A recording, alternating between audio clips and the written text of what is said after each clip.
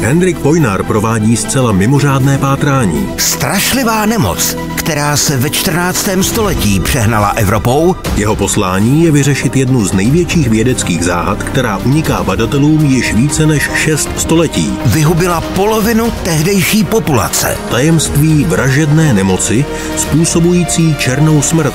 Mor zůstal v kostech. Ve čtvrtek ve 21.50 na CS History.